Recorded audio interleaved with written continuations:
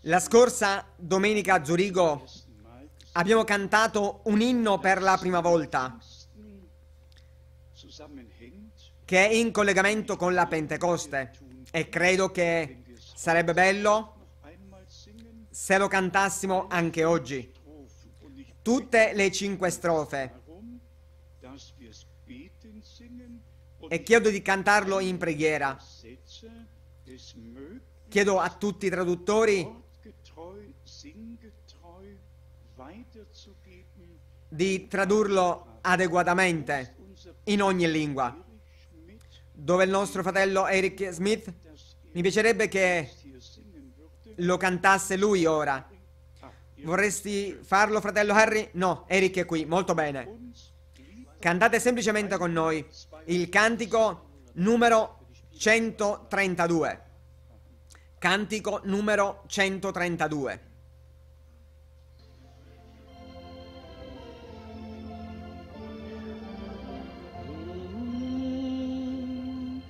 Tauf mit heilgem Geist und Feuer battezza con lo Spirito Santo e col fuoco i tuoi figli da vicino e da lontano.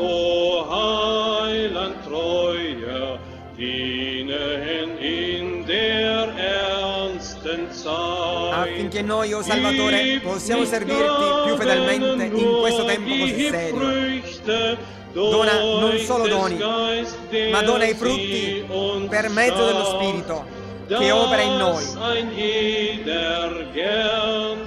che ognuno possa rinunciare volontariamente alla forza della carne. Nur durch den Geist, der sie uns schafft, dass ein jeder gern verzichte auf des Fleisches Kunst und Kraft. Tauf mit heilgem Geist battezza con lo Spirito Santo tutti i giovani figli di Dio. Stabiliscili affinché ti lodino in nuove lingue in ogni tempo.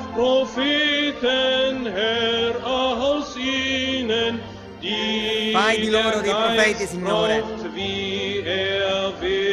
che lo Spirito possa usare come tu desideri. Quelli a cui piace servirlo. e ai quali piace pure rimanere tranquilli. die der Geist braucht, wie er will, die in seiner Kraft gern dienen und auch gerne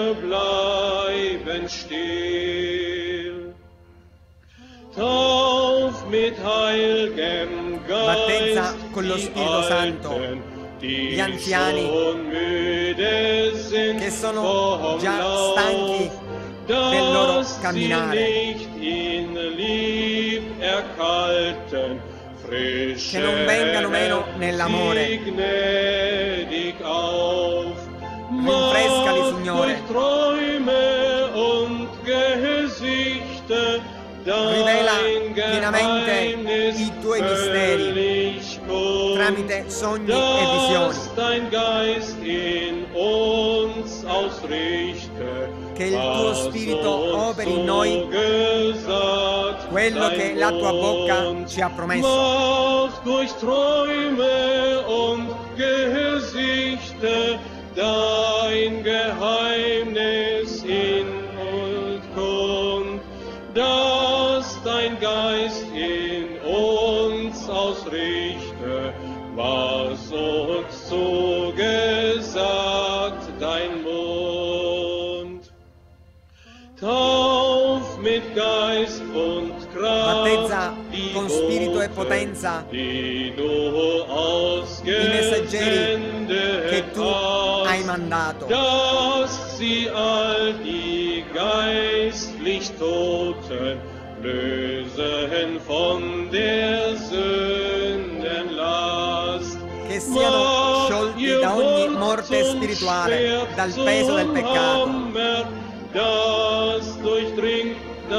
Rendi la loro parola una spada, un martello che penetra e guida al ravvedimento, che dà ristoro alla miseria che attraversa il mondo. ihr Wort zum Schwert, zum Hammer, das durchdringt das Böse wird und behebt den großen Jammer, der sich durch die Welt erstreckt.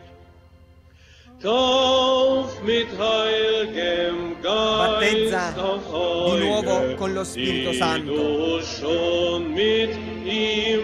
Di nuovo quelli che sono già stati battezzati,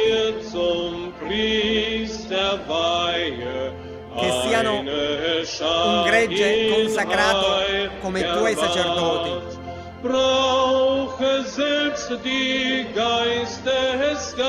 Usa tu stesso i doni dello Spirito. Alle gänzlich ein. Ach, Rendici du pienamente. Tu ci avrai pienamente, che possiamo essere ripieni del tuo Spirito. Nimm uns alle gänzlich ein. Ach, du sollst uns allig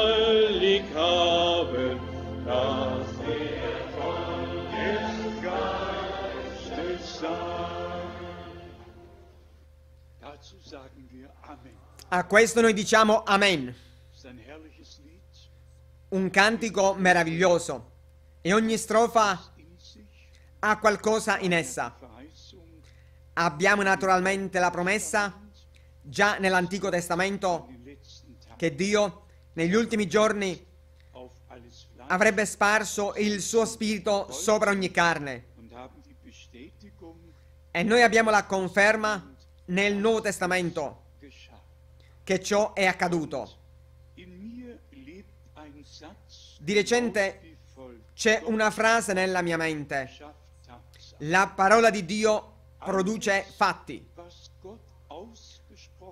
Tutto ciò che il Signore ha proferito è accaduto. er Ogni cosa che Egli ha promesso giunge a compimento. Se noi guardiamo alla narrazione in merito alla creazione e se riflettiamo solo per un momento su ciò che la parola di Dio compie realmente, noi ritorniamo indietro a quello che il fratello Graf ha già menzionato. Non più miscuglio, ma essere separati sotto la guida dello Spirito Santo. Nella parola di Dio. E se è stato ancora detto quello che del continuo il fratello Brana ha enfatizzato, entrambi saranno così vicini. Una è la parola originale e l'altra è l'interpretazione. Non si deve andare lontano. È stato così sin dall'inizio. È accaduto così nel giardino dell'Eden. Il Signore Dio parlò e il nemico venne e la parola annunziata egli la usò a modo proprio ed ebbe luogo l'interpretazione ed anche la caduta. Dunque non le interpretazioni, ma l'originale parola di Dio possa dimorare in noi, possa dimorare in noi, Affinché seine Schöpferkraft, seine Erlöserkraft noch einmal vor Augen geführt bekommen. Possiamo vedere ancora una volta la potenza di Dio. Lasciate che vi legga in Genesi capitolo 1, Verse lesen. solo alcuni versi. 1. Mose, Genesi capitolo 1, hier von Vers noi leggiamo dal verso Im 1. Anfang schuf Gott den Himmel, Nel principio Dio creò i cieli e la terra. La terra era informe e vuota. Le tenebre über coprivano la faccia dell'abisso.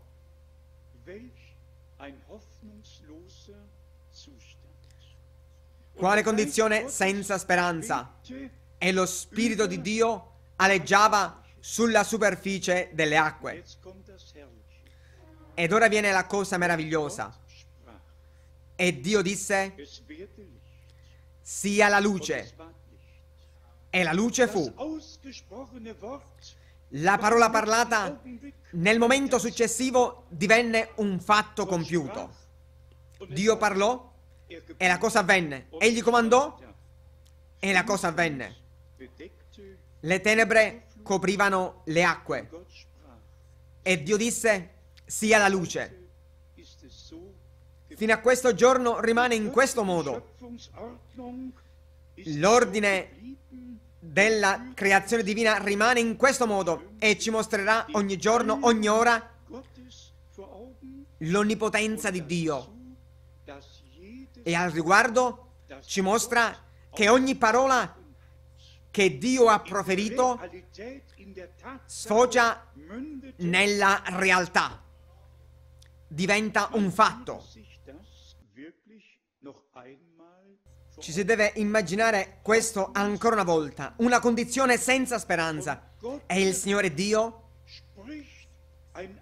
proferisce una parola di potenza. E nel momento successivo la condizione senza speranza termina. Il Signore Dio disse, sia la luce. E la luce fu. E la cosa successiva, Dio separò la luce dalle tenebre. E chiamò la luce giorno e le tenebre notte.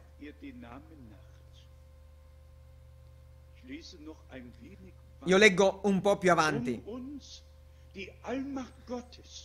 Per mostrare ancora una volta la potenza di Dio e la potenza della sua parola, affinché possiamo comprendere oggi che la parola di Dio, l'onnipotenza di Dio è in essa e qualsiasi cosa Dio dice deve ed avrà luogo. Nel verso 6, nel verso 6 noi leggiamo, poi Dio disse, vi sia una distesa tra le acque che separi le acque dalle acque.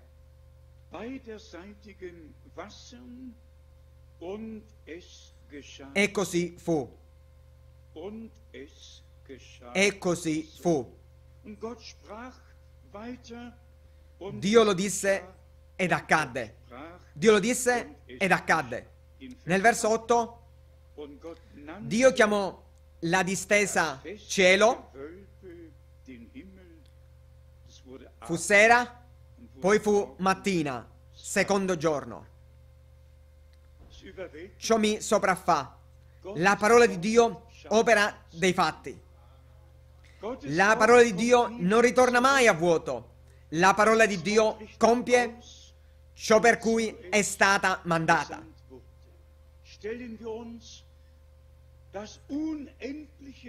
Immaginate soltanto per un solo momento l'universo infinito. È collegato a ciò che nulla era là. Parlando riguardo ad Ebrei capitolo 11, che Dio, tutto il mondo, tutto l'universo, egli l'ha portato all'esistenza dal nulla tramite la sua parola potente. Fratelli e sorelle, questa potenza è tuttora con Dio. E la sua parola, così è scritto, il nostro Signore porta l'universo tramite la sua parola potente.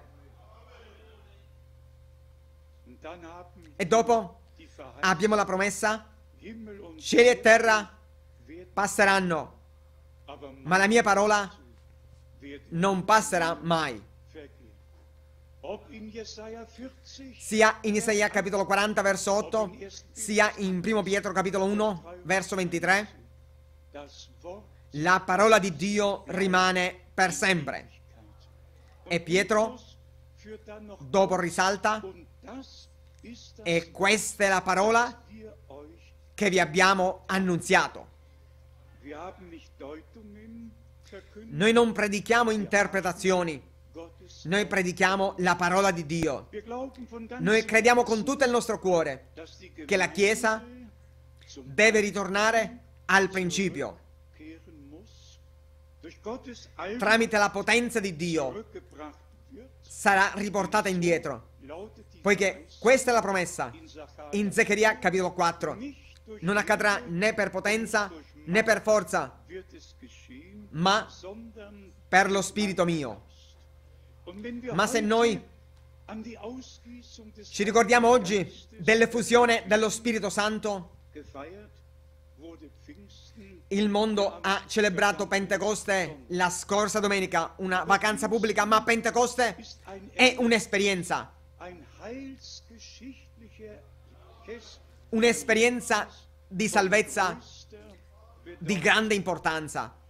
La Chiesa Era stata redenta sulla croce del Calvario.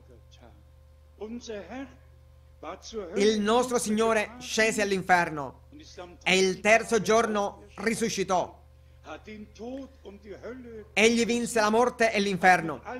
Egli salì con ogni cosa e disse, io vivo e voi vivete pure. Dann hat er mit seinen Jüngern Dopo egli parlò 40 giorni con i suoi discepoli in merito al regno di Dio e dopo rimasero solo 10 giorni fino all'effusione dello Spirito Santo, fino all'instaurazione della Chiesa del Nuovo Testamento, che fu riempita con la vita divina. Ecco come è iniziata la Chiesa, con l'effusione dello Spirito Santo, con l'opera soprannaturale in mezzo a quelli che udirono la parola per la prima volta. Tutti voi lo sapete, Pietro predicò il primo sermone ed ecco che accadde. geschah, dass 3000 3.000 persone, secondo Atti capitolo 2, Vers 41 verso 41, ihre sperimentarono la loro conversione e furono battezzati. Continuamente, recentemente lo abbiamo enfatizzato, non è stata la forza del sermone, è stata l'opera dello Spirito Santo. La predicazione fu accompagnata dallo Spirito di Dio. Lo Spirito di Dio era all'opera durante il sermone. E tutti noi che crediamo con tutto il nostro cuore sappiamo che lo Spirito di Dio deve realmente operare ogni cosa. Egli deve convincere di peccato. Nessun uomo, nessun uomo sarebbe in grado da se stesso di sapere cos'è il peccato. Nessun uomo sarebbe in grado di ravvedersi. Solo lo Spirito di Dio convince di peccato. Solo lo Spirito di Dio guida al ravvedimento. Solo lo Spirito di Dio guida in tutta la verità. E così noi vediamo che il nostro Signore ha chiamato realmente i suoi servitori sin dal principio per portare dentro la raccolta. Egli, il seminatore, seminò il buon seme e noi che siamo chiamati a predicare la parola e portarla nella raccolta, noi possiamo avere parte in quello che Dio fa nel suo regno. Al riguardo vorrei leggere principalmente due scritture. Una in Matteo 9, capitolo 9 um uns zu per mostrare che il Signore dapprima diede un incarico in generale e dopo nel capitolo 7 10 hat er die zwölf Apostel incaricò i dodici apostoli e poi nel Vangelo di Luca egli incaricò pure die 70 i 70, beauftragt, aber alle ma tutto è in collegamento con la raccolta che deve essere portata dentro. Matteo Matthäus 9 capitolo 9, qui leggiamo lesen wir von Vers 6. dal verso 36. Beim Anblick der Vedendo le folle, er ne ebbe compassione. Perché erano stanche e Schafe, come pecore che non hanno pastore. Allora disse ai suoi discepoli, la messe è grande, ma pochi sono gli operai. Pregate dunque il Signore della messe che mandi degli operai nella sua messe. In realtà è così, che siamo diventati collaboratori di Dio, come Paolo ha scritto in Corinzi. Noi non edifichiamo il nostro proprio regno, non la nostra propria chiesa, ma siamo parte del regno di Dio, parte della chiesa di Gesù Cristo. Ora, al tempo della fine. Dopo, in Matteo capitolo 10, in Vers nel verso 1, noi leggiamo, poi chiamati a sé i suoi dodici discepoli, diede loro il potere di scacciare gli spiriti immondi e di guarire qualunque malattia e qualunque infermità.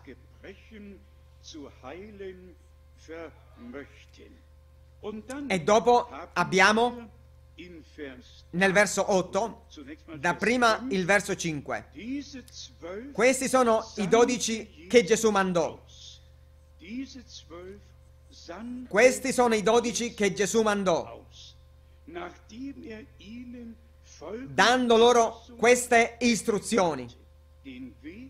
Non andate tra i pagani e non entrate in nessuna città dei Samaritani, ma andate piuttosto verso le pecore perdute della casa di Israele. Ecco come è iniziato. Dio ha iniziato con Israele e terminerà con Israele. Nel mezzo c'è il tempo per le nazioni. Dopo abbiamo la promessa, oppure in collegamento con quello, Lukas 10 ciò che è scritto in Luca capitolo Das 10. ist für uns als E questo è molto importante per noi, che non soltanto 12 geladen oder gerufen furono chiamati e mandati, ma che dopo 70 ne furono mandati wurden 70 mit dem gleichen con lo stesso incarico. Luca Lukas, 10. capitolo 10, verso 1. Dopo queste cose il Signore designò altri 70 discepoli e li mandò a due a due davanti a sé in ogni città e luogo dove egli stesso stava per andare. Ciò è veramente straordinario. Laddove il Signore vuole andare, là egli manda i suoi messaggeri affinché essi possano proclamare il suo messaggio. Ed egli va con loro. Egli va con loro. Lo ripeto. Egli mandava i suoi discepoli laddove egli stesso voleva andare. Ed egli li accompagnava. E dove accadeva? Che la raccolta era portata dentro. Verso 2. Er sagte zu ihnen, e diceva loro, la messe è grande, ma gli operai sono pochi. Pregate dunque il Signore della messe er perché spinga degli operai nella sua messe. Dio si è sempre preso cura che i suoi messaggeri predichino la sua parola. Fratelli e sorelle, in ogni epoca, ogni qualvolta Dio mandava un messaggio, c'erano uomini che lo portavano. E qui, di quelli che il Signore stesso aveva chiamato, è scritto di loro nel verso 16, in Luca capitolo 10, wer euch chi ascolta voi, ascolta me, e chi disprezza voi, disprezza me, e chi disprezza me, disprezza colui che mi ha mandato. Qui abbiamo due cose, fratelli e sorelle. Non andremo nei dettagli, tuttavia sono stato molto criticato in tutto il mondo e specialmente quando si tratta di portare dentro la raccolta. E dopo ci sono fratelli che leggono soltanto quello che realmente è accaduto proprio alla fine, come ci viene detto in Matteo capitolo 3. gesagt wird.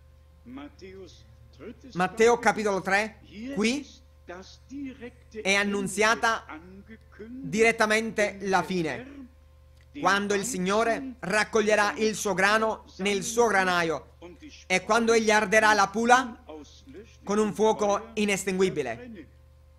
Matteo capitolo 3, Hier könnte man von qui si potrebbe leggere dal verso 10. Und in diesem E in questo collegamento Giovanni disse, io vi battezzo con acqua in vista del ravvedimento, ma colui che viene dopo di me è più forte di me e io non sono degno di portargli i calzari. Egli vi battezzerà con lo Spirito Santo e con il fuoco.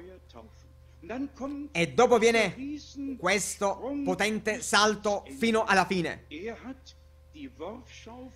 Egli ha il suo ventilabbro in mano, ripulirà interamente la sua aia e raccoglierà il suo grano nel granaio, ma brucerà la pula con fuoco inestinguibile.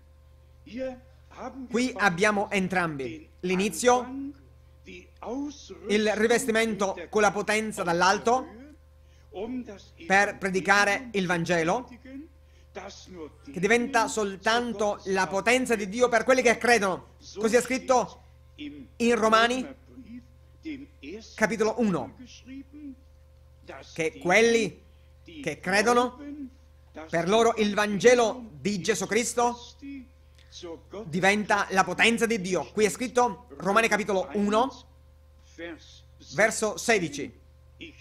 Infatti non mi vergogno del Vangelo, perché esso è potenza di Dio per la salvezza di chiunque crede, del giudeo prima e poi del greco.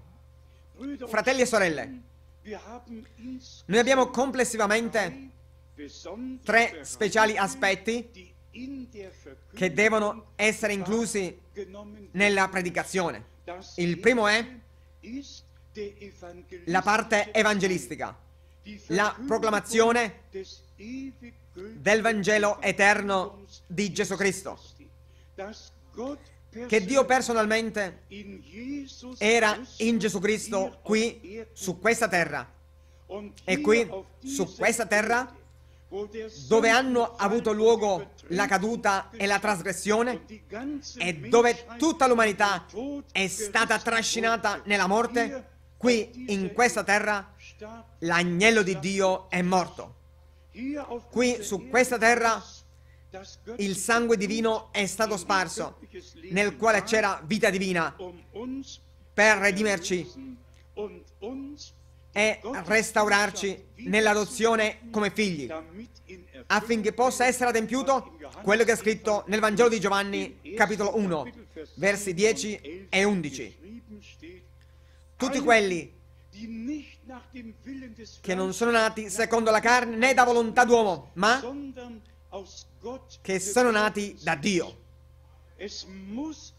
Deve accadere. La proclamazione deve sfociare nella realtà. Se parliamo di conversione o predichiamo la conversione, allora il sermone, la predicazione deve produrre una conversione in quelli che ascoltano la parola. Se noi predichiamo ravvedimento, allora la predicazione sotto l'opera dello Spirito Santo deve produrre, deve diventare un fatto. Deve diventare un fatto. La stessa cosa è con tutte le altre esperienze che possiamo fare con Dio. Noi abbiamo naturalmente il migliore esempio nella vita e nel ministero del fratello Branham. Nella prima generazione è stato Pietro, Paolo, i quali come uomini di Dio furono usati da Dio in modo speciale. Nel nostro tempo, e questo possiamo confessarlo liberamente e apertamente, è stato il fratello Branham. E Dio decide da se stesso quel che fa. Egli non chiederà ad alcuno. Fino a questo giorno egli non ha mai chiesto ad alcuno ed egli per sempre non chiederà mai ad alcuno, né in cielo né sulla terra. Egli non chiederà mai ad alcuno. Non ha bisogno di alcuno che lo consigli. Egli stesso è il consigliere, il Padre Eterno, il Principe di pace. Egli è tutto in tutti. Tuttavia, affinché noi possiamo udire e ricevere il messaggio di Dio, perciò Dio in modo soprannaturale, come non era mai accaduto prima, l'ha confermato e lo conferma di nuovo. È una cosa se un uomo dice qualcosa, ma è una cosa totalmente diversa se Dio è presente. E quando Dio conferma la parola, con Mosè, con Mosè, con tutti i profeti, è stata la legittimazione divina. Non era l'uomo di Dio, era Dio che poteva usare un uomo per rivelare la sua parola e la sua volontà al suo popolo. E noi riconosciamo che Dio doveva scegliere un uomo, non c'era altra via. Se egli ha dato la promessa, io vi mando e paragona questo profeta ad Elia, prima che venga il giorno grande e terribile del Signore, allora Dio doveva farlo, non c'era altra via. Ogni promessa sfocia nell'adempimento. Ogni parola di Dio diventa realtà. Siamo sinceri, ritorniamo indietro al principio del Nuovo Testamento. Giovanni il Battista, un uomo promesso da Dio. Voi potete leggerlo in Matteo capitolo 3, potete leggerlo in Matteo capitolo 11, potete leggerlo in Marco capitolo 1, potete leggerlo in Luca capitolo 3, potete leggerlo in Giovanni capitolo 1. Un uomo mandato da Dio. Tuttavia, in primo luogo, era la parola. E dopo accadde quello che la parola aveva predetto. E se Dio dice che egli avrebbe mandato il suo messaggero davanti alla sua faccia, questa è una cosa. Ma quando il tempo giunge a compimento, allora accade quello che Dio ha detto. Così noi abbiamo realmente la prova in tutto il Nuovo Testamento che ogni cosa che Dio ha detto, quello che Egli ha promesso, trova adempimento. È diventato realtà. Dio tratta solo con i fatti. L'abbiamo letto prima. Dio disse, sia la luce, un fatto. Cosa scrive Giovanni come introduzione nella sua lettera. Quello che hanno visto i nostri occhi, quello che hanno udito le nostre orecchie, quello che hanno toccato le nostre mani della parola della vita. Quello che abbiamo potuto toccare con le mani era là. Questo annunciamo a voi.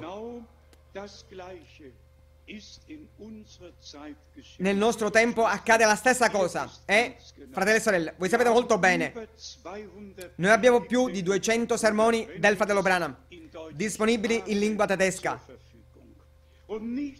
e nulla può rendermi più felice di quando odo che questi sermoni vengono letti.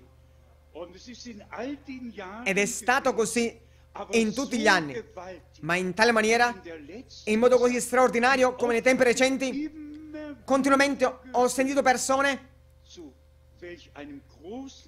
quale tipo di benedizione i sermoni del fratello Branham diventano per quelli che li leggono in preghiera e in tranquillità nelle loro case. E lasciano che la parola penetri loro e dopo diventa il cibo spirituale di cui siamo partecipi. Osservate, e in questo modo il fratello Branham, quale profeta, anche lui certe volte ha rimproverato le sorelle, egli le correggeva. Io non faccio questo così tanto. Al massimo io leggo la Sacra Scrittura, predico il Vangelo e insegno le dottrine bibliche. Tuttavia, appartiene a ciò, appartiene a ciò che anche riguardo a questo ricevo ed accetto ogni cosa che Dio ha da dirci. Quando leggo in Deuteronomio capitolo 22 che una donna non indosserà abiti da uomo e l'uomo non indosserà vestiti da donna. Se io predicassi questo, allora questo non si adatterebbe tanto a me. Ma se il fratello Branham dice, sorella, io ti avverto, non lasciare che lo spirito di questo tempo venga su di te. Vestiti con moderazione. Lasciati crescere i capelli. Non essere come questo mondo, eccetera, eccetera. E dopo, se per esempio quello viene letto e ciò ha parlato alle persone ed essi reagiscono, allora sono felice al riguardo. Tutti voi lo sapete. L'incarico è realmente in modo duplice. Da un lato di andare di città in città e predicare la parola. E per essere sincero, non c'è nulla di più bello. E il fratello Smith ed altri fratelli possono testimoniare a riguardo. Non c'è nulla di più bello di andare in altre città e trasmettere il consiglio di Dio, riassumendolo, per portarlo al popolo di Dio. Qui, in questo luogo, noi naturalmente andiamo sempre più in profondità nelle cose dottrinali, ma in tutto il mondo realmente il consiglio di Dio viene mostrato in ogni dettaglio, viene esposto.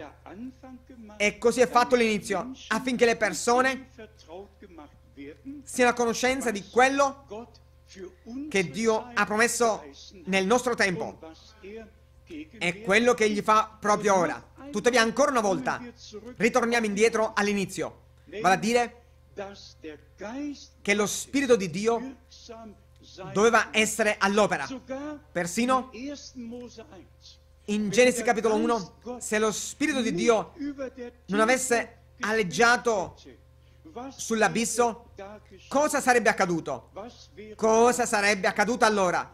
Fratelli e sorelle, se Pietro avesse semplicemente parlato e lo Spirito di Dio non fosse stato presente e non fosse stato all'opera, cosa sarebbe accaduto allora? E se per esempio ritorniamo indietro a quello che significa Pentecoste, il covone dei primi frutti. Tutti voi sapete che Dio nell'Antico Testamento egli preadombrò ogni cosa, ciò che sarebbe poi diventato una realtà. La Pasqua aveva il suo significato. La festa della raccolta aveva il suo significato. Il covone che veniva agitato davanti al Signore aveva il suo significato.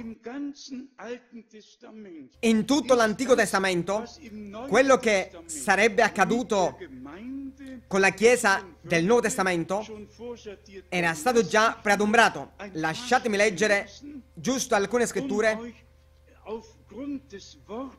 per mostrarvi, basandomi sulla parola di Dio, come già nell'Antico Testamento fu posto il fondamento per quello che sarebbe accaduto nel Nuovo. Al riguardo, affinché l'abbiamo dall'inizio, la parola tedesca Pfingsten è la parola Pentecoste.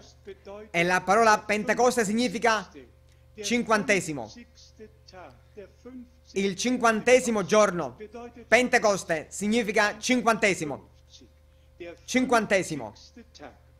Il cinquantesimo giorno. E noi vedremo come le profezie della Bibbia, già nell'Antico Testamento, come ogni cosa fu messa in ordine, piazzata da Dio in ordine. Qui, in Esodo, capitolo 23, dal verso 14, Esodo, capitolo 23, tre volte, tre volte all'anno mi celebrerai una festa. Osserverai la festa degli azimi.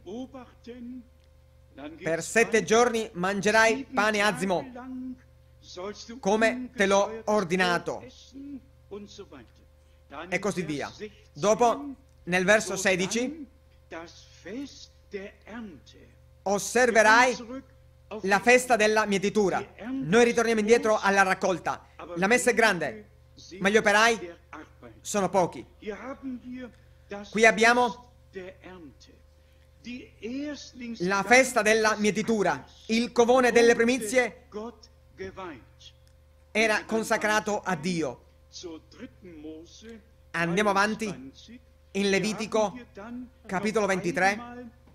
Qui abbiamo ancora una volta l'ordine. Come ogni cosa nell'Antico Testamento, come ogni cosa è stata detta e fatta nell'Antico Testamento. Levitico, capitolo 23, dal verso 9. Il Signore disse ancora a Mosè, parla ai figli di Israele e di loro, quando sarete entrati nel paese che io vi do e ne mieterete la raccolta, porterete al sacerdote un fascio di spighe come primizia della vostra raccolta. Nel verso 11 dice, il sacerdote agiterà il fascio di spighe davanti al Signore, perché sia gradito per il vostro bene. L'agiterà il giorno dopo il sabato. Perché il giorno dopo il sabato il popolo di Israele era naturalmente vincolato al sabato. Il sabato era il segno del patto tra Israele e Dio. Ma qui si tratta del giorno dopo il sabato. Quando è stato il giorno della risurrezione? Il primo giorno. Il giorno dopo il sabato. Il sabato era un totale riposo, un totale riposo. Lì il Signore ripoliva di sotto, ma qui era un totale riposo. Tuttavia, dopo il primo giorno della settimana, egli risuscitò. Dopo qui, in Levitico, capitolo 23, dal verso 15, dall'indomani del sabato, dal giorno che avrete portato l'offerta agitata del fascio di spighe, conterete sette settimane intere. Conterete 50 giorni fino all'indomani del settimo sabato e offrirete al Signore una nuova oblazione. Sollt ihr 50 Tage abzählen und dann dem Porterete dai luoghi dove abiterete due pani per un'offerta agitata.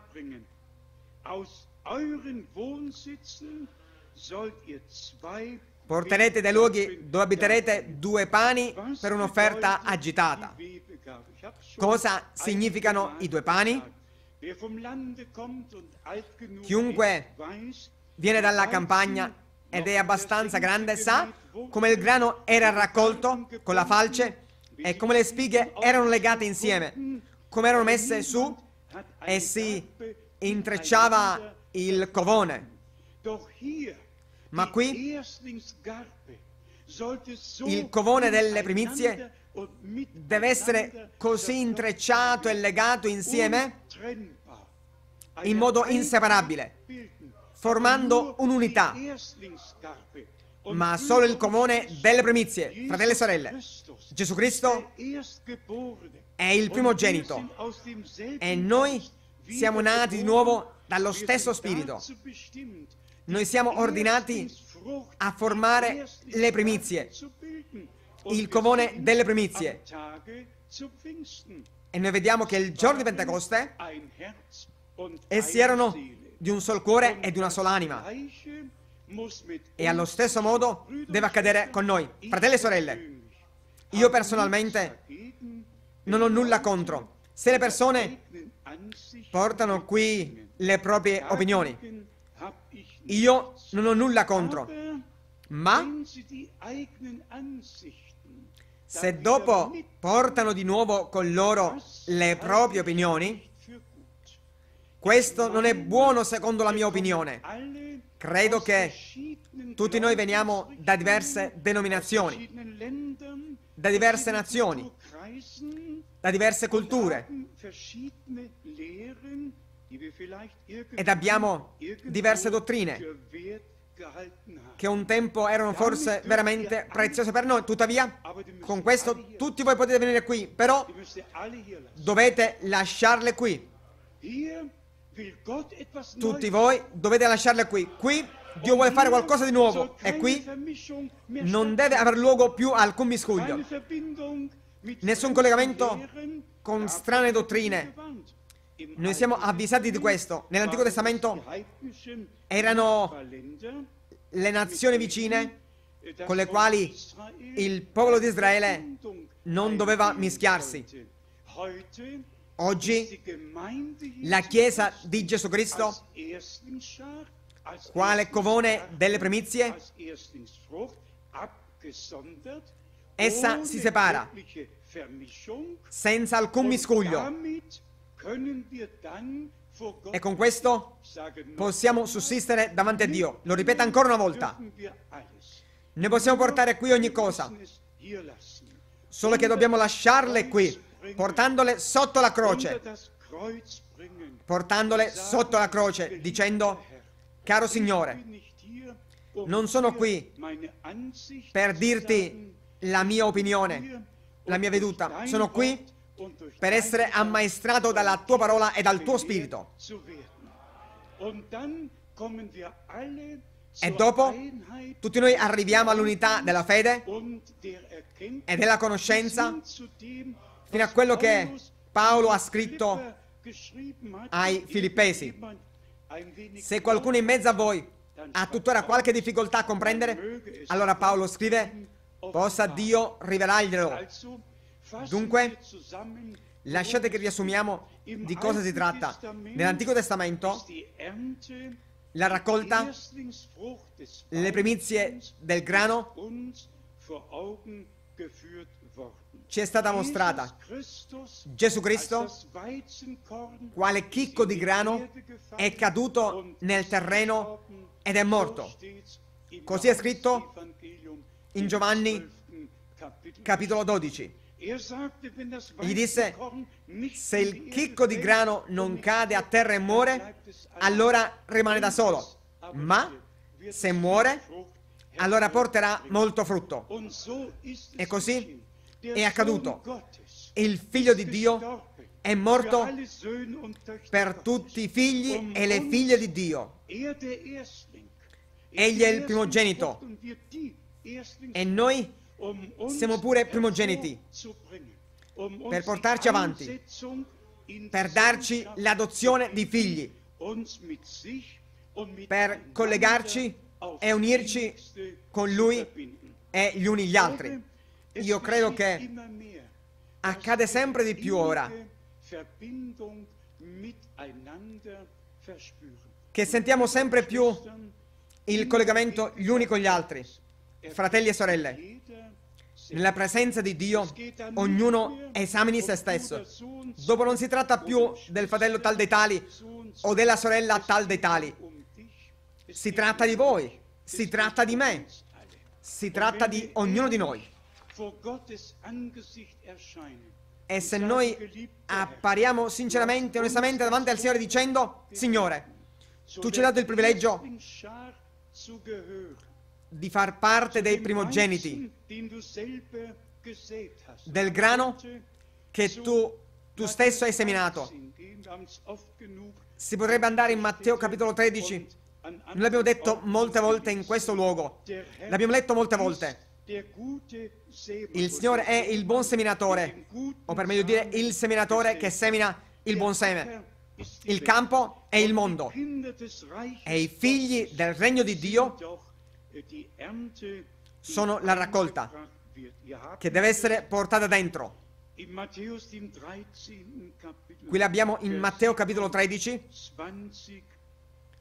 versi 37 e 38. Egli rispose loro, colui che semina il buon seme è il figlio dell'uomo, il campo è il mondo. Il buon seme sono i figli del regno, le zizzanie sono i figli del maligno.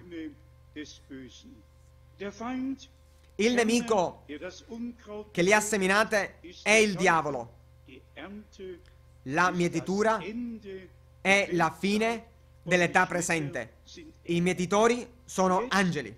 Ora siamo mandati nella raccolta, ma proprio alla fine, proprio alla fine, e questo ve lo leggo, non sarà più un predicatore né un profeta, ma accadrà tramite Dio stesso, come è scritto in Apocalisse capitolo 14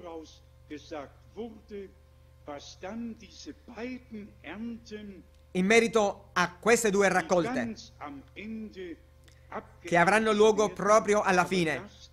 Ma questa è una cosa totalmente diversa. Apocalisse, capitolo 14, dal verso 14. Poi guardai e vidi una nube bianca e sulla nube stava seduto uno simile a un figlio d'uomo che aveva sul capo una corona d'oro e in mano una falce affilata. Un altro angelo uscì dal Tempio, gridando a gran voce a colui che stava seduto sulla nube. Metti mano alla tua falce e mieti, poiché è giunta l'ora di mietere, perché la messe della terra è matura. Colui che era seduto sulla nube lanciò la sua falce sulla terra e la terra fu mietuta. In quel tempo io non voglio essere più sulla terra. Noi siamo qui ora, dove una raccolta, dove una raccolta di anime è portata dentro. Per mostrare quel che è collegato a ciò, leggiamo dal verso 17 in Apocalisse capitolo 14. Poi dal Tempio che nel cielo uscì un altro angelo. Anch'egli aveva una falce affilata.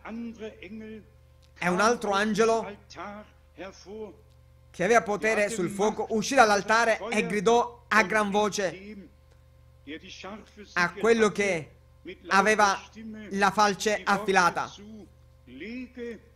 Metti mano alla tua falce affilata e vendemmia i grappoli della vigna della terra, perché le sue uve sono mature. L'angelo lanciò la sua falce sulla terra. e vendemmiò la vigna della terra e gettò l'uva nel grande tino dell'ira di Dio. Il tino fu pigiato fuori della città. E dal tino uscì tanto sangue che giungeva fino al morso dei cavalli per una distesa di 1600 stadi. Io leggo questo con lo scopo perché i fratelli mischiano le scritture, non le piazzano biblicamente e dopo arrivano alle proprie interpretazioni, fratelli e sorelle. La cosa più preziosa che Dio potrebbe darci è in primo luogo di avere riverenza davanti a Lui, riverenza davanti alla Sua parola e astenersi, astenersi da ogni interpretazione. Noi lasciamo ogni parola di Dio così come è scritta, nel contesto in cui appartiene. E chiunque vuole alzare lo sguardo ha solo bisogno di leggere nell'Antico Testamento, nel profeta Gioele e nel profeta Isaia, Isaia capitolo 63, per conoscere quando saranno adempiute queste scritture che abbiamo appena letto.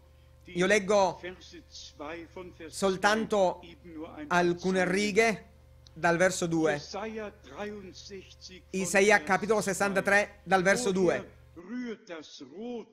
Perché questo rosso sul tuo mantello è perché le tue vesti sono come quelle di chi calca l'uva nel tino? In Apocalisse 14 abbiamo letto del tino. Qui leggiamo di colui che calca il tino. Io sono stato solo a calcare l'uva nel tino e nessun uomo di fra i popoli è stato con me e via dicendo. Io li ho calcati nella mia ira, li ho calpestati nel mio furore e così via. Questo è già il giorno dell'ira. Questa è l'introduzione nel giorno del Signore, nel giorno dell'ira, nel giorno della resa dei conti. Quel che concerne noi, noi siamo ancora nel tempo della grazia. Il Signore manda ancora operai nella sua messe e la sua raccolta è tuttora portata dentro, poiché nel momento in cui l'ultimo entra, allora si chiude la porta e dà luogo il ritorno del Signore. Dunque, noi abbiamo ricevuto il grande privilegio da Dio, ora alla fine del tempo della grazia, quale primizie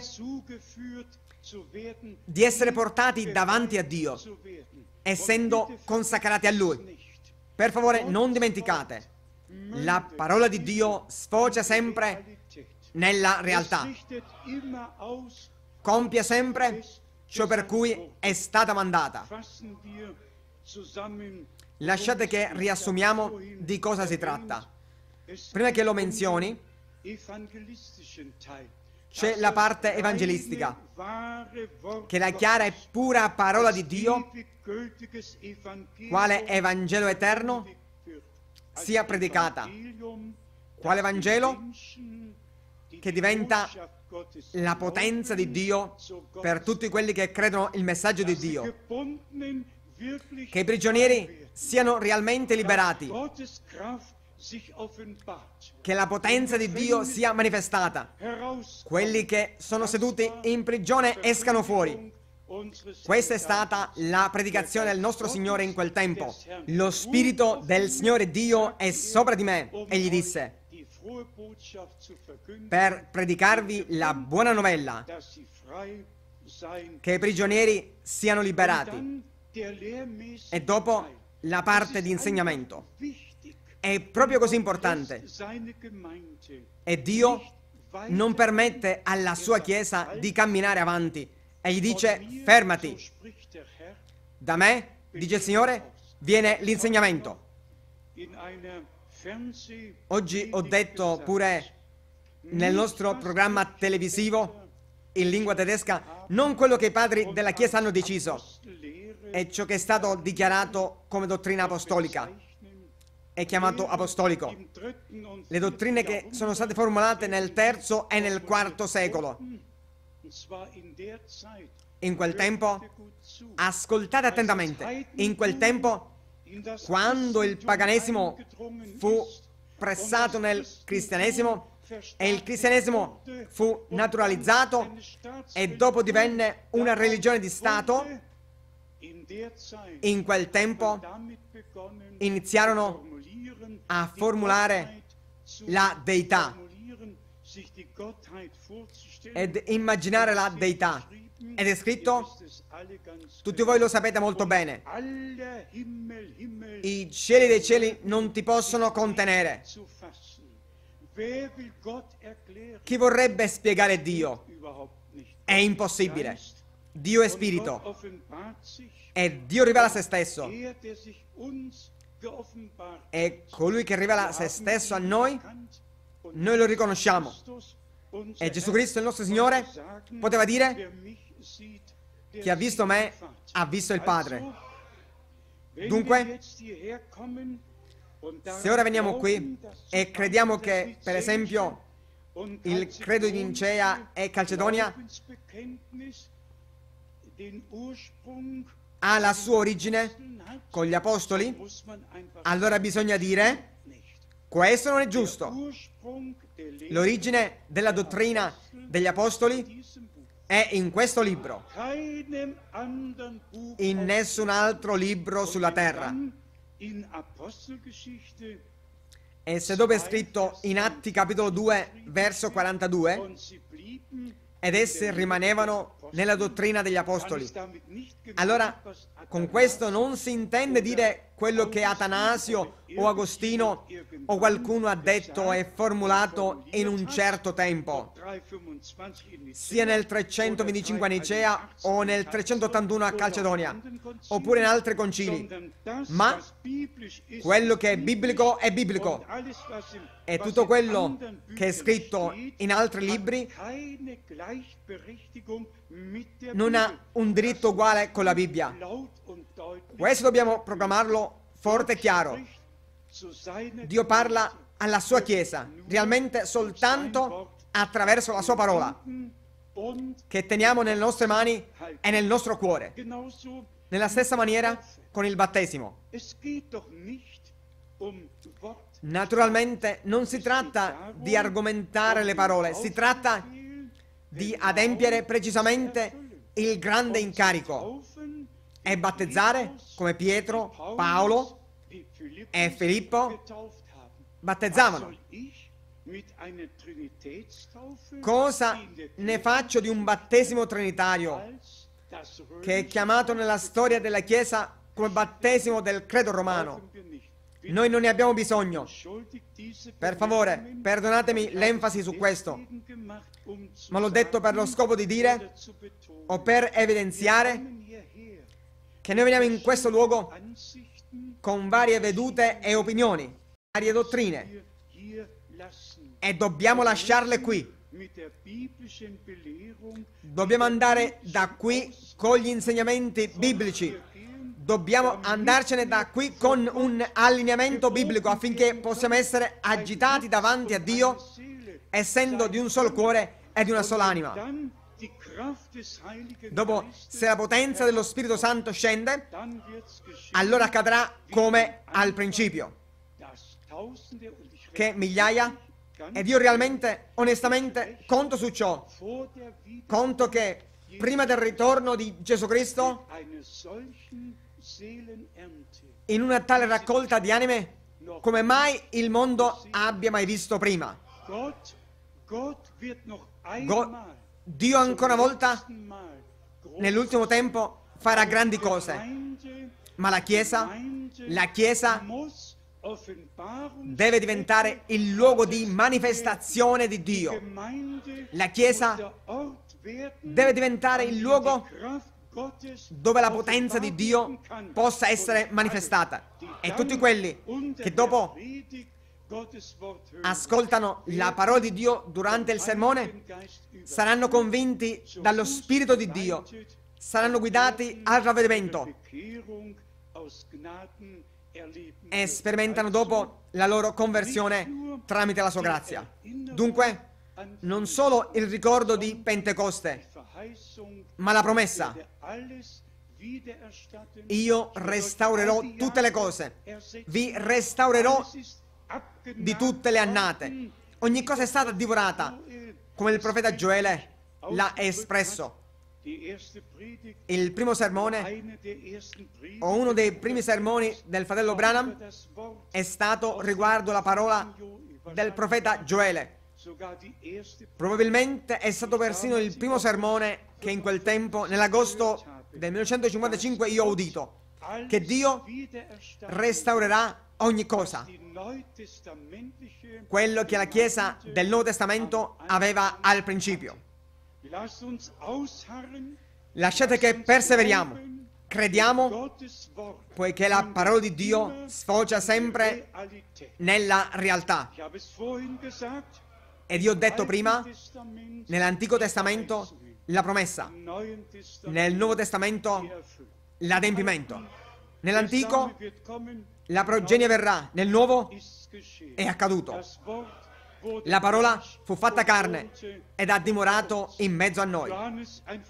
Giovanni, un profeta promesso, quando il tempo fu compiuto, egli venne sulla scena. Tutto ciò che Dio dice nella sua parola accadrà.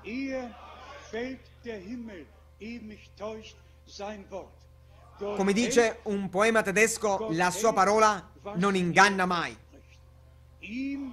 Dio mantiene le sue promesse a Lui, il Dio Onnipotente, che ora chiama il suo popolo da ogni popolo, lingua e nazione. Fratelli e sorelle, lasciatemi dire anche questo qui. Il giorno di Pentecoste c'erano 16 o 17 nazionalità diverse radunate. Persino la parola arabi è scritta nel libro degli atti. Persino libici è scritto nel libro degli Atti, nel capitolo 2. Essi erano radunati da ogni nazione, vennero a Gerusalemme e lì accadde, perché Dio aveva dato la promessa. Fratelli e sorelle, lo domando a noi stessi, perché Dio ci ha chiamato da ogni popolo, lingua e nazione perché le frontiere sono state battute? Perché ogni cosa diventa come è diventata negli ultimi anni? Fratelli e sorelle, noi viviamo alla fine del tempo della grazia e credetemi, continuamente un amen dall'assemblea sarebbe la giusta cosa. Sì, sarebbe la giusta cosa.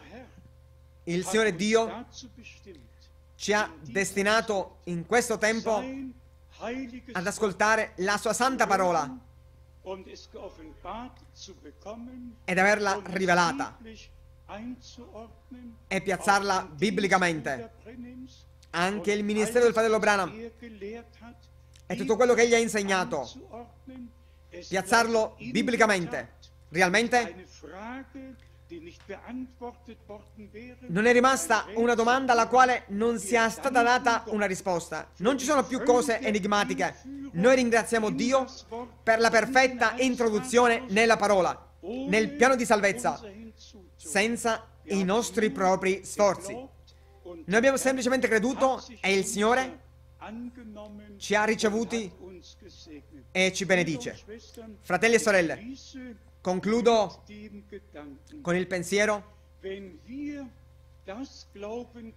Se noi possiamo credere quello che Dio ha promesso per questo tempo, con questo abbiamo l'evidenza che apparteniamo a quel gregge che è chiamato fuori, che è separato che è preparato. Per il rapimento tramite la sua grazia. Anche questo L'abbiamo detto molte volte. Come Israele è radunato nella terra promessa, così il popolo di Dio, da ogni popolo, lingua, da ogni chiesa e denominazione, è radunato sotto il richiamo della parola di Dio, nelle promesse di Dio. Ed io vi dico, un giorno il rapimento sarà una realtà divina. Il mutamento dei nostri corpi sarà una realtà. La risurrezione dei morti sarà una realtà. Ogni cosa, esattamente ogni cosa che Dio ha promesso nella sua parola sfocia nella realtà. E noi ringraziamo Dio. Anche il mutamento dei nostri corpi avverrà. Avverrà. Credetelo. Credetelo con tutto il vostro cuore. Il mutamento accadrà nel momento in cui suonerà la tromba di Dio e quando la voce dell'arcangelo sarà udita e quando il Signore discenderà. I morti in Cristo risusciteranno per primi e noi che siamo in vita saremo mutati. In merito alla salvezza non dobbiamo preoccuparci. Dio l'ha fatto. Ogni cosa è nella redenzione. Ed io dico chiaramente, la risurrezione del nostro Signore è la garanzia per la nostra resurrezione. La sua ascensione è la garanzia per la nostra ascensione. Egli è andato a preparare un posto per noi e verrà di nuovo per portarci a sé affinché possiamo essere laddove è pure Lui. Fratelli e sorelle, preziosi amici, possa il Signore Dio, tramite la sua grazia, mettere i pezzi di questa predicazione insieme per essere intera. Noi siamo chiamati fuori come covone di primizie, chiamati fuori e siamo uniti insieme.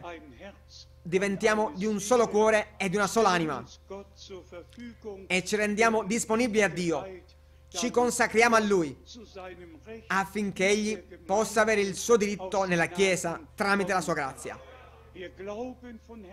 Noi crediamo con tutto il nostro cuore e Dio farà ogni altra cosa.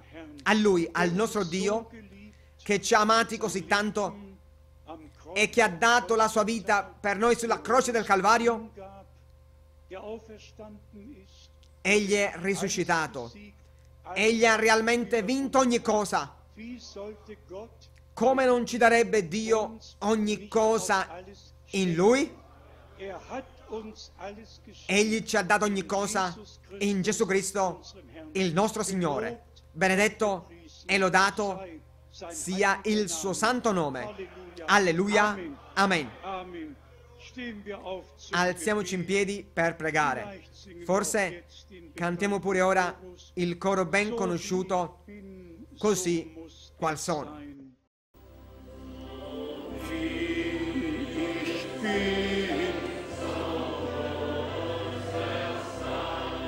Nicht meine Kraft, nur du allein. Dein Blut wäscht mich von Sünden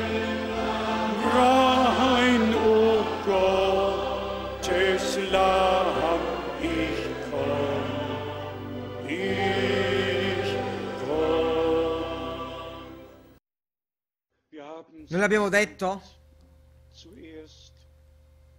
In primo luogo,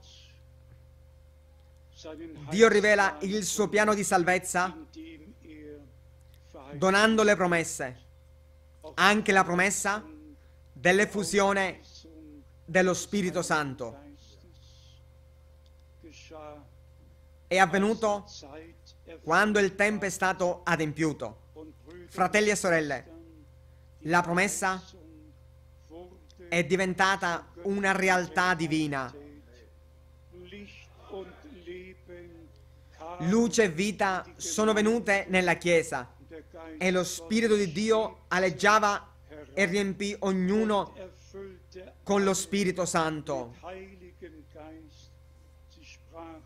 Essi parlavano in altre lingue, secondo come lo Spirito si esprimeva. E tutti si meravigliavano, Medi, Persiani, Elamiti, tutti si meravigliavano che le grandi opere di Dio erano proclamate. Fratelli e sorelle, anche noi siamo meravigliati che Dio ci riferisce in tutte le lingue dei miracoli che Egli ha fatto, dell'adempimento delle promesse. Naturalmente ciò raggiunge tutto il mondo e noi chiediamo a tutti quelli che sono uniti a noi e con Dio da un'estremità della terra all'altra, siate benedetti nel nome del Signore.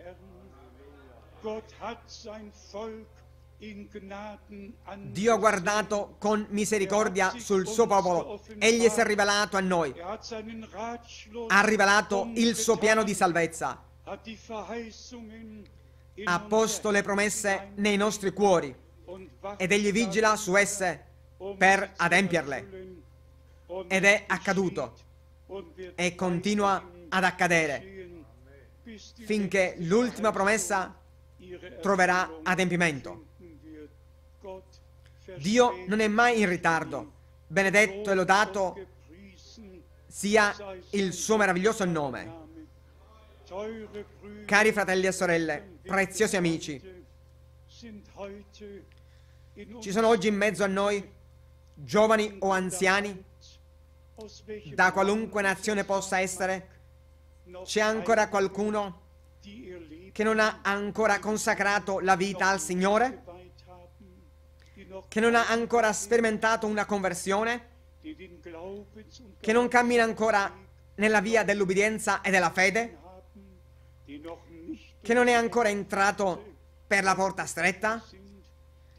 Che non ha ancora ricevuto Gesù Cristo come personale Salvatore? Fatelo ora. Fatelo ora. Il Signore passa proprio ora. Egli bussa ad ognuno di noi.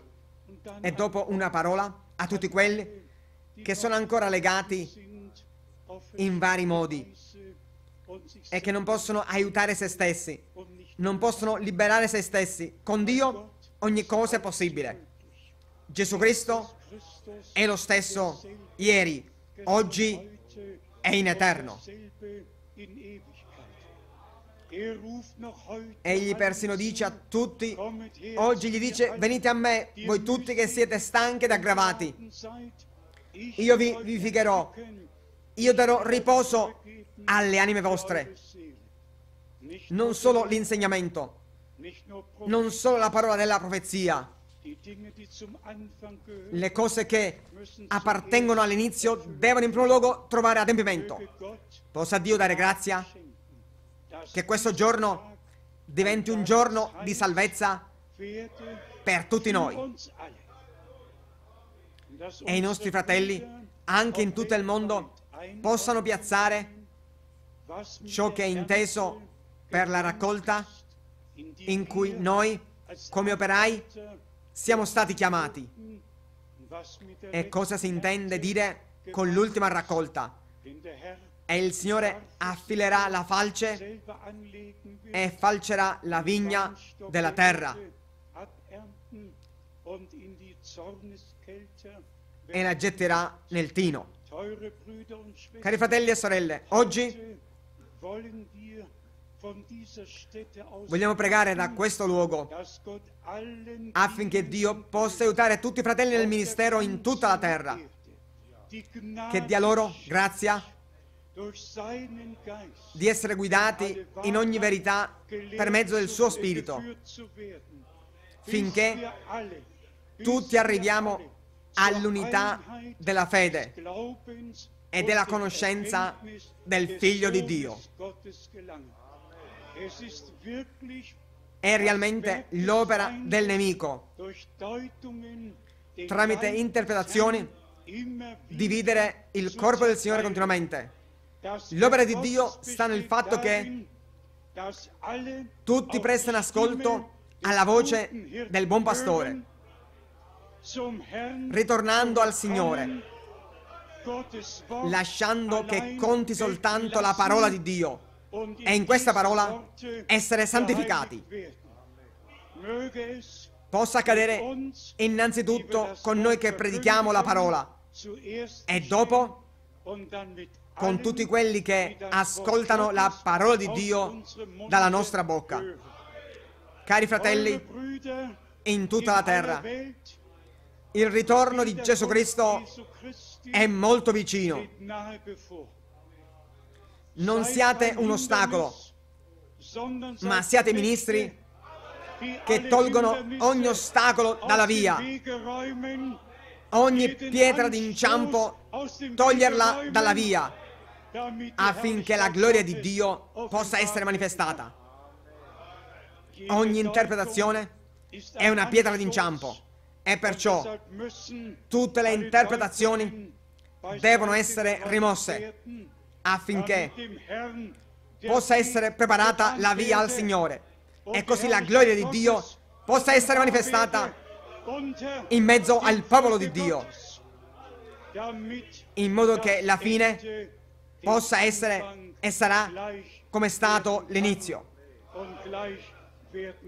Benedetto e lodato sia il Signore nostro Dio. Alleluia, alleluia, alleluia. Halleluja.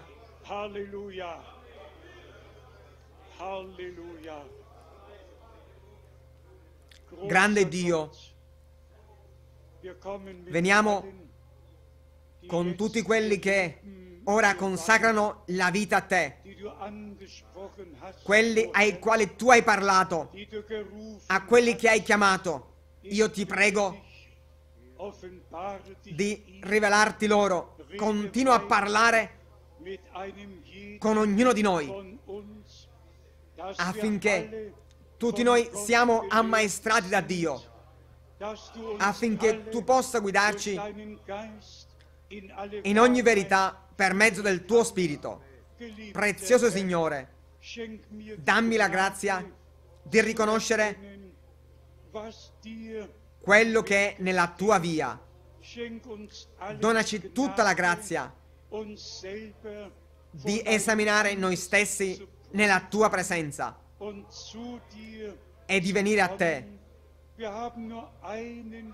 Noi abbiamo o un solo desiderio, komm oh Signore, abbi il tuo diritto con ognuno di noi.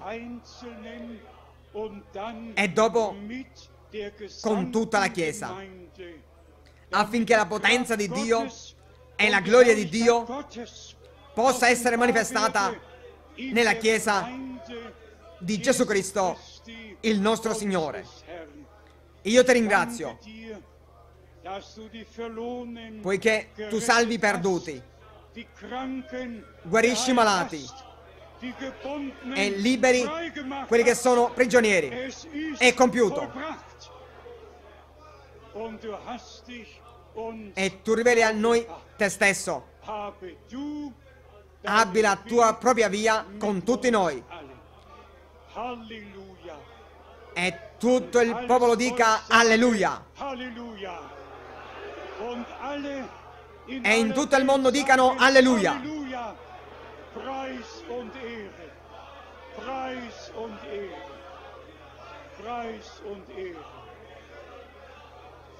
Sei Gott im Herrn. Halleluja. Halleluja. Halleluja. Halleluja.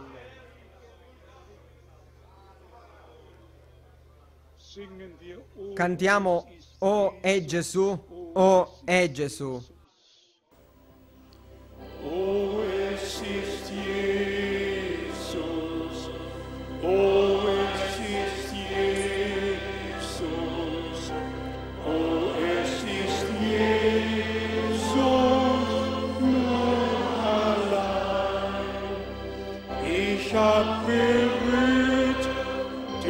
Saum seines Kleides und sein Blut, es wusch mich. Halleluja, Halleluja, Halleluja.